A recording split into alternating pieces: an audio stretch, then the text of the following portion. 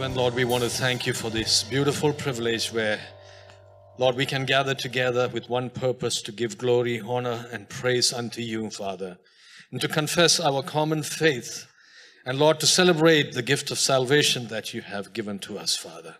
And Lord, as we sit at your feet right now, I pray that, Lord, our ears will be attentive, our hearts ready to receive, and our whole being, Father, respond in obedience to your word, Father.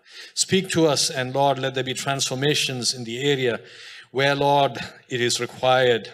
And Father, that, Lord, to know that the faith that you have given us is not a passive but an active faith that moves in increasing steps of obedience. So, Father, help us, Lord, to use this beautiful gift that you have blessed us with. Lord, to become Christ like on a daily basis in our lives. Lord, empower us, fill us with your spirit, Lord, we pray. Let the words of our mouth and the meditation of our heart be acceptable in your sight. In Jesus' name we pray. Amen. Amen. Let us open in our Bibles to James chapter 2. Our text portion today is verses 14 to 26. And uh, I'm reading from the ESV version. That's what's put up on the screen. So let's read together. What good is it, my brothers, if one, someone says he has faith but does not have works. Can that faith save him? If a brother or sister is poorly clothed and lacking in daily food, and one of you says to them, Go in peace, be warmed and filled, without giving them the things needed for the body, what good is that? So also faith by itself, if it does not have works, is dead. But someone will say, You have faith, and I have works. Show me your faith apart from your works, and I will show you my faith by my works. You believe that God is one, you do well. Even the demons believe and shudder. Do you want to be shown, you foolish person, that faith apart from work is useless? Was not Abraham our father justified by works when he offered up his son Isaac on the altar? you see that faith was active along with his works, and faith was completed by his works. And the scripture was fulfilled that says, Abraham believed God, and it was counted to him as righteousness, and he was called a friend of God. You see that a person is justified by works and not by faith alone. And in the same way was not also Rahab the prostitute justified by works when she received the messengers and sent them out by another way. For as the body apart from the spirit is dead, so also faith apart from works is dead. May the Lord add his blessings to the reading of his word. The central message of James, uh, we talked in the first um, message that we had from this book. I introduced James to you as a and he had many nicknames James the Just, James the Bulwark, you know, and he had many beautiful names because of his character as a man of God. He was a solid man of God. And the central message of the solid man of God, James, is that those who are truly saved through the gospel manifest their faith in action. Um, it is a sad situation, actually, that uh, in the modern age, the gospel of Jesus is presented as a gospel of love, which it is, but it stops over there and it is not presented as the gospel of grace that comes freely from God, and it is not presented as a gospel of righteousness. You know, do you know that you cannot love the hell out of a person? You can only, only the the righteous fear of God can scare the hell out of a person.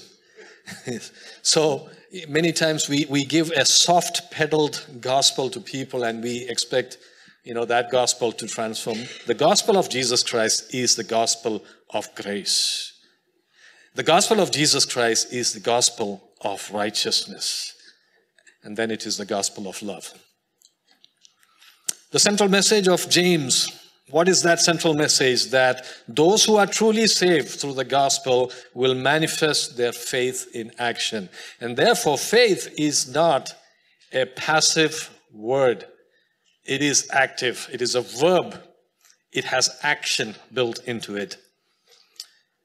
Now, there is one portion in the Bible, if you go and study the book of Romans, where Paul is now preaching about salvation through faith.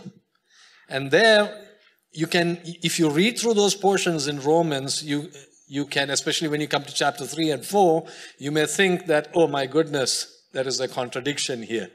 Paul and James are contradicting each other's because Paul says that you're saved by faith. And some people have added a word to that faith alone. There's a verse uh, in Romans chapter 3, verse 28, which kind of sums up what Paul was saying and says, For we hold that one is justified by faith apart from works of the law. Now, the contradiction is superficial, it is the way we understand it.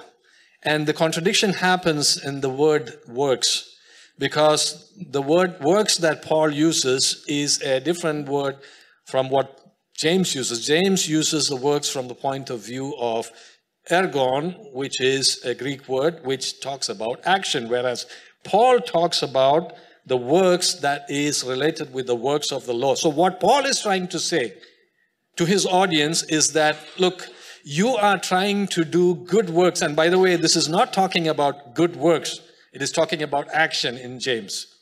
Now, Paul is trying to tell his audience that, look, you are trying to earn your salvation through good works. And you are never, ever going to earn your salvation through your good works because it just takes you to break one law to become a lawbreaker. So it doesn't matter how much of goodness that you you have done with your efforts, but the moment that you break one of laws, uh, one of God's commands, you become a lawbreaker. And therefore, there is no one. That's why the Bible tells us there is none righteous. With our efforts, uh, if you can imagine a, a grasshopper that is contained in a container, the grasshopper can only jump as high as the ceiling that is posed upon its life. And that is our works. Our works always fall short. The intents may be good, but they sincerely fall short of what is required for the remission of sin. And so Paul is talking from that point of view that there, there is no good works that you can do, there is no quantum of good works that you can do that will justify you to receive your salvation. So basically, you cannot earn your salvation. So Paul is using that word works from the point of view of works of law that you're trying to get brownie points by obeying them in order for you to be justified. Justification comes as a gift from God because we do not have it in us to bridge that gap and to pay the price to the depths by which we have fallen through sin, we do not have the capacity, we do not have the strength, we do not have the capabilities to pay that price. It is only God and God alone who can pay that price, and He freely did that by sending His only begotten Son, and Him taking up His place in the cross, taking the Lord of our filth upon him. Jesus was willing to take the filth of our sins upon himself. And for that moment he dreaded the most was the moment when his father would turn his face away from him and total darkness would come upon Jesus. He dreaded that, and that is why he cried out in the Garden of Gethsemane that if this cup may pass from me, may it be so but yet let your will be done, not mine. He dreaded that moment tremendously when he had to carry the filth of our sin. And our sin is so gruesome, it is so filthy that the Father had to t- turn his face. Heaven had to turn its face away from. That was the most lonely moment in Jesus' life when he was all on his own carrying the filth of our sin. And that's how gruesome our sin is. So there is no contradiction between Paul's exposition in Romans or James's exposition in, in, uh, in James because they are coming from two different angles, talking about two different things. Paul is talking about justification, and, uh, and uh, James is talking about the fact that your faith is not a passive word, it is an active word. So your faith is not producing uh, good works are not works are not products of your faith but it goes hand in hand with your faith. It is built in with the characteristic of faith that faith has to act out. James speaks of works not in sense of fruit but action of the faith. And james does not contradict paul but the distortion by people of what paul said because people added a word which Paul never stated. They said faith alone, sola fide. That's a mistake. You know, there is a group of people who took that understanding sola fide and said that salvation is the, is the total responsibility of God. So you had two schools of thoughts. You had Augustine, one of the church fathers, who was the first one to take this stand and actually who brought a major error into the church. He said, You and I don't have a choice. If we are chosen by God, we are chosen by God. If not, we are not. So it's not in our hands at all. There is nothing that we can do. It is totally God, and He alone is the one responsible for our salvation. You and I uh, have nothing to do with it. On the other hand, there was Pelagius who, who came up with the understanding that no, it is not God alone. You and I have a part to play, and the part that you and I have to play is the part of, of uh, working out our salvation. So there were two extreme views, but the right view, the biblical view is right in the middle of this that yes, it is God who saves, He alone who can save, but God will not save you until you cooperate with Him. And so faith has to act in itself. What is the action that is required for justification to take place? Because there is no way that you will get saved if you stand in the place of arrogance, if you don't humble yourself, if you don't repent. And repentance is an action of faith for justification.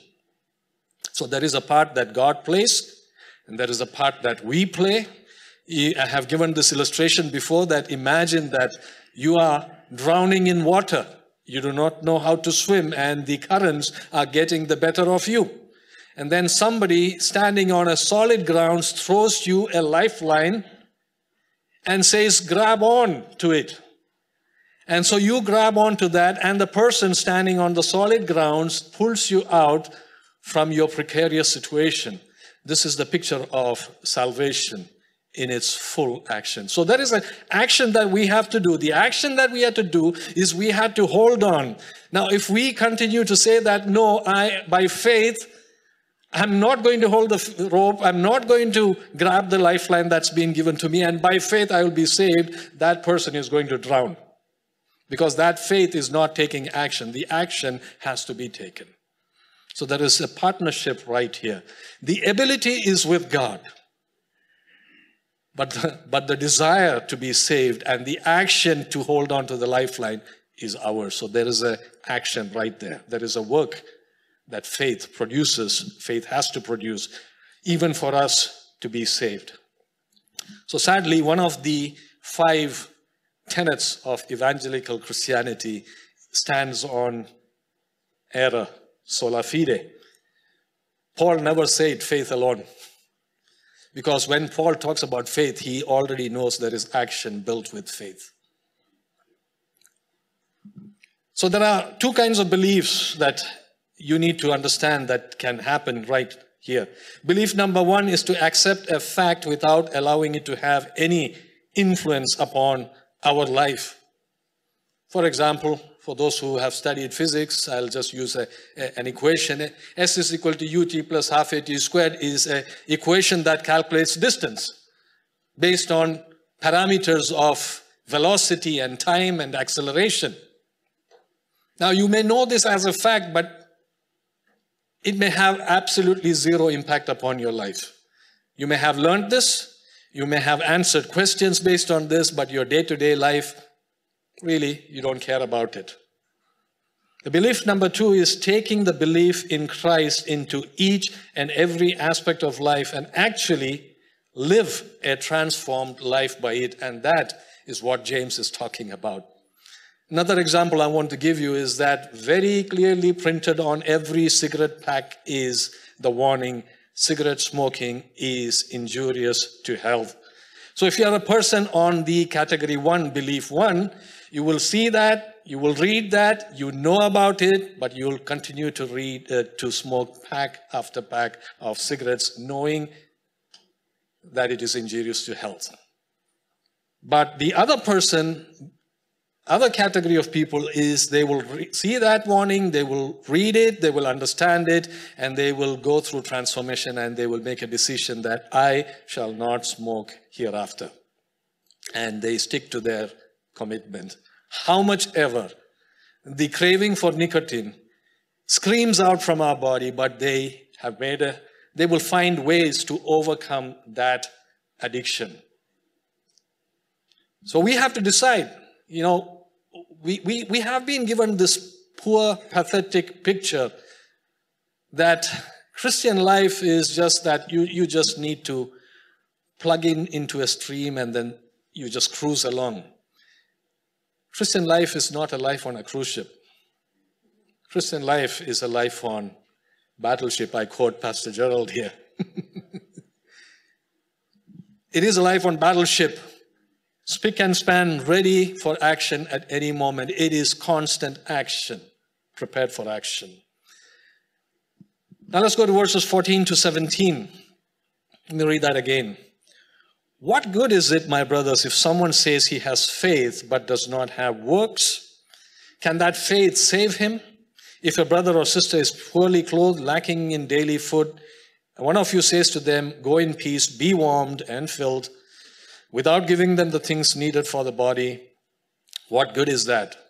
So also faith by itself, if it does not have works, is dead. Uh, that's one of the most standard things that we do. Somebody we know is in need. What do we do? We lay hands and pray and say, God bless you. Give a kiss and off you go. And that person who came with the need goes back with the need Expression of sympathy by mere words does not minister to a person whose need is greater than empathy towards their plight. Converting sympathy to action is costly, yet that is what ministers. I remember, I'll tell you a story from what happened some years back to us. Um, I had taken a couple of youth from our church in Dar Salaam Pentecostal Church. I took a couple of them on a on a mission trip with me to go and uh, do some uh, evangelism in a, in a far off village in the interiors. Um, and so we were associated with a Assemblies of God church in that locality in a village. So it was a village church. And so we were there for a few days.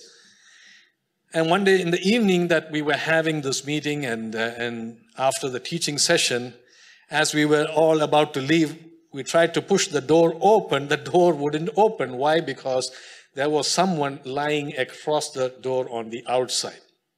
And we had to jump out of the window, carry this person, you know, and this person had fainted. Now, the story is that this person had actually come for the meeting. This person was so sick, and he, he stays um, number of miles away from the where the where the meeting was taking place. And this is how it happens in the village. People come from long distance walking.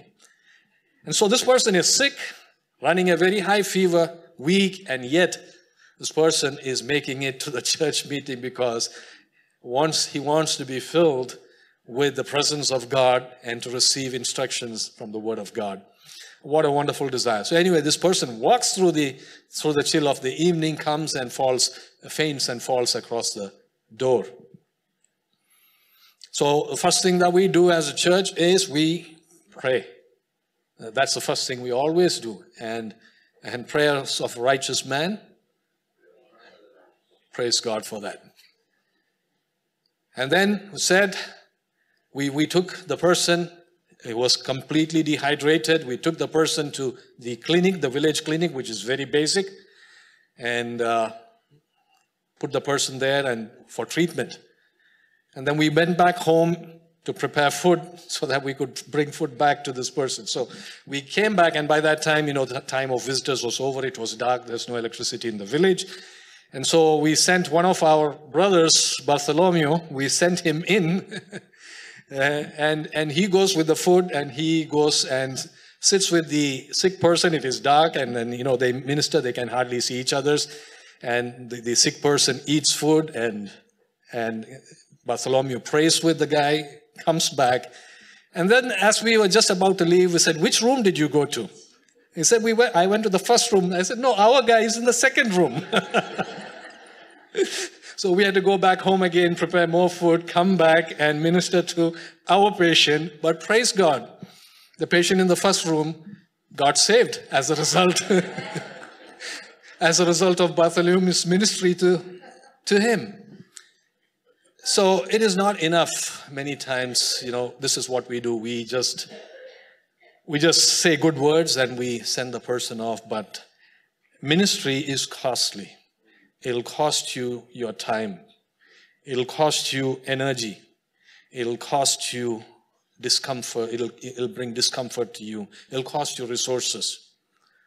But that is where, what faith is all about. Faith is accompanied with action immediately. It is not that works follow faith. Work is not a product of faith, but Work is built in together with faith. The word faith is a verb, and a verb is action. So um, let's go to verses 18 to 19 now. Let's read that together in your Bibles if you follow with me. If you really fulfill the royal law according to scripture, you shall love your neighbor as yourself. You're doing well. But if you show, sorry, I'm reading the wrong, wrong portion, am I? Yes verse 17. Right. But someone will say, You have faith and I have works. Show me your faith apart from your works, and I will show you my faith by my works. Do you believe that God is one? You do well. Even the demons believe and shudder. Now, faith and works are not alternative. They are not alternative expressions of Christianity, they are complementary expressions of Christianity. They go together. So, actionless good intentions and thoughtless actions are equally meaningless and equates us to demons. This is what demons do. Actionless good intentions and thoughtless actions are equally meaningless and equates us to demons because even the demons believe and they shudder. They are scared. They are spit scared. They know the fact that God is God and that He's awesome and holy, but they don't take the rightful action of repentance and of submission and of transformation. And therefore, if we say we have faith and we have no works in our lives, then it's a contradiction and we are walking hand in hand with demons. And that is a scary place to be as a Christian. Let's go to verses 20 to 26 now. Do you want to be shown, you foolish person, that faith apart from works is useless? Was not Abraham our father justified by works when he offered up his son Isaac on the altar? You see that faith was active along with his works and faith was completed by his works. And the scripture was fulfilled that says, Abraham believed God, and it was counted to him as righteousness. And he was called a friend of God. You see that a person is justified by works and not by faith alone. And in the same way, was not also Rahab the prostitute justified by works when she received the messengers and send them out by another way? For as the body apart from the spirit is dead, so also faith apart from works is dead. I really hope the Holy Spirit ministers and speaks to you today. You know, and it's interesting, Paul uses the same example. He uses the example of Abraham in Romans chapter 3 and 4 and says that Abraham is justified by faith, not by works. But remember, Paul is talking about works of law, works that we try to do in our own strength. James is talking about works, the actions that accompany faith. And so there is no contradiction here. It is just the angle from which they are coming and what they are speaking to their audience and what the audience has to understand from what they are saying. And so Abraham and Rahab are examples of true demonstration of faith that took action. So they had faith and they took action based on that faith. Rahab did not say, okay, come, you know, and God bless you and go. And, and, and she, because she took an action, in her ancestry came people like Jeremiah the prophet and others, blessed people in her ancestry.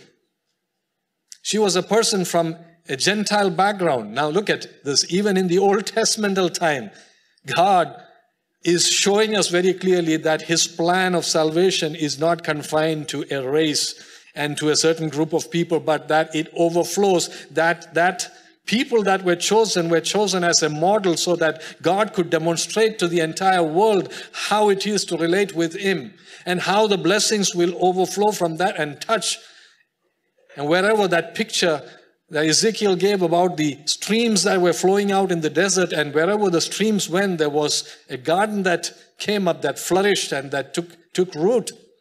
That these blessings that are that are planted and sown in the blessings of salvation that are sown into your life is not confined to you. And that is why Matthew chapter 28 is very important because there is no secret believer. You cannot say, I am a believer and I hold that confession to myself. You cannot, because the moment you are a child of God, the moment you're a born again Christian, the Great Commission applies to you, and the Great Commission is go make disciples of all nations, baptizing them in the name of the Father, Son, and the Holy Spirit, teaching them everything I have taught you, and lo, I am with you to the end of the ages. So the moment you are a born again Christian, that commission becomes yours, and therefore there is no secret believers. Faith always has to act. You cannot contain it and say, I am a child of God. I have, I have a ticket. I'm heading for heaven. Praise the Lord. Hallelujah. Well, you know what? The story doesn't end there.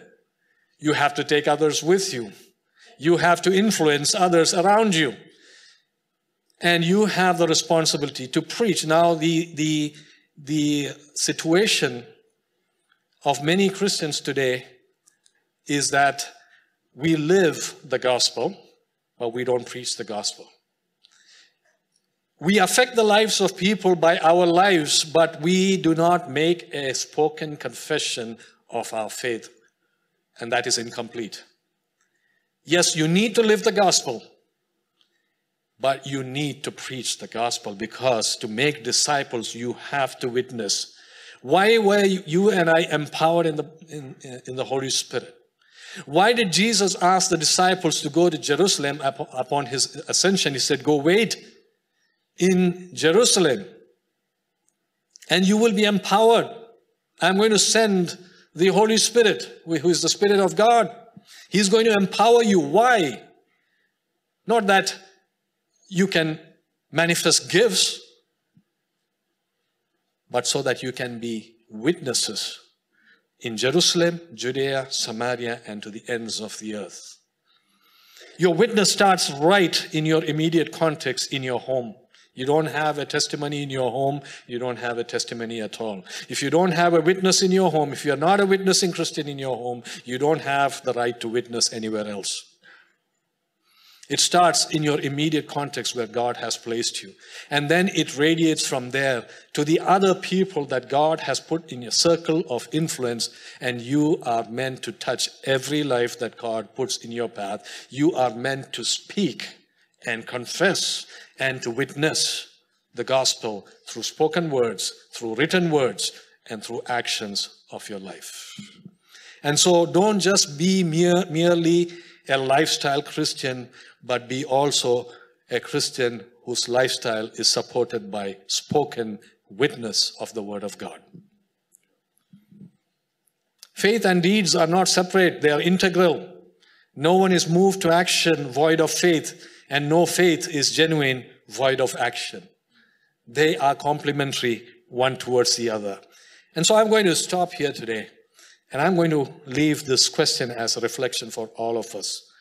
Does the salvation that you received through the gospel of grace and righteousness of Christ manifest faith in action? Shall we stand up together? Let's take a moment to reflect. And the music team will lead us in a song that will and as we as we sing that song worshipfully i pray that we reflect and actually make a adjustment today mental adjustment that will lead to physical action that no longer will i be a person who is passive in faith but my faith that god has gifted to me i'm going to take that gift i'm going to act upon it my life being transformed by it and by, the, uh, by that action, lives of people around me are going to be transformed by it. Amen.